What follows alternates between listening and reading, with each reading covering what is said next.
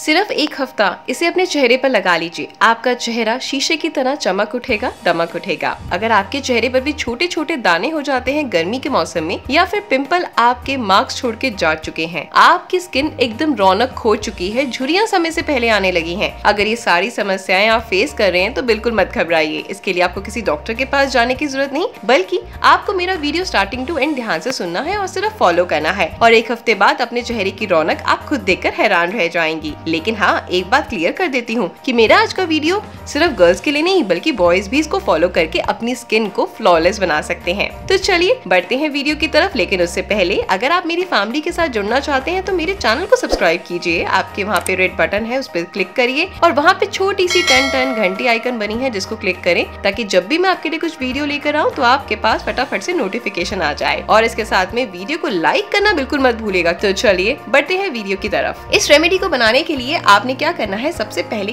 एक आपको spray bottle ले लेनी है। इसको आपको आधा रोज वाटर से फिल कर लेना है। जो गुलाब जल होता है, किसी भी कंपनी का आप ले सकते हैं। चाहे तो आप घर पर गुलाब की पत्तियों को उबाल कर उनका जो वाटर होता है, वो क्रिएट कर सकते हैं घर पर। अगर आप चाहते हैं कैसे बनाना है तो कमेंट करेगा डेफिनेटली उसके ऊपर भी मैं वीडियो लेकर आऊँगी। रोज वाटर आधा भर लीजिए। अब इसमें आपको डालने हैं चार बड़े चम्मच नारियल तेल के। नारियल तेल क्या करता है, आपकी स्किन को डीपली क्लीन करता है। जितने भी पिंपल के मार्क्स हैं या कोई दाग धब्बे उनको हल्का करता है, आपकी सन टैन को हटाता है, आपकी स्किन के टेक्सचर को एकदम स्मूथ और सफल बनाता है, ग्लोइंग बनाता है। अब आपने चार चम्मच इसमें नारियल तेल ऐड करने के बाद इसमें ऐड करना है दो बड़े चम्मच aloe vera gel aloe vera gel आपके पिंपल्स रिंकल्स को दूर करता है, आपकी स्किन के टेक्सचर को सुधारता है, आपकी स्किन को क्लियर बनाता है। अब हम इसमें ऐड करेंगे लेमन क्योंकि लेमन से अच्छा ऑप्शन मुझे लगता ही नहीं अपने फेस के लिए, अपने बॉडी के लिए, क्योंकि ये आपके जितने भी पिंपल मार्क्स हैं, उनको लाइटन करता है ब्राइटन करता है, आपकी स्किन को डीपली क्लीन करता है और साथ में अगर आपकी स्किन धूप से झुलस चुकी है या मौसम बदलने के कारण एकदम डल पड़ चुकी है तो आपकी स्किन पे एक बेहतरीन ग्लो लेकर आएगा। तो बस आपको क्या करना है, दो से तीन ड्रॉप्स आप इसमें लेमन ऐड कर लीजिए। अगर आपको लेमन सूट नहीं करता तो आप स्किप भी कर सकते हैं। इनको अच्छे से शेक करें। शेक करने के बाद आपने रोज़ाना रात को सोने से पहले, यानी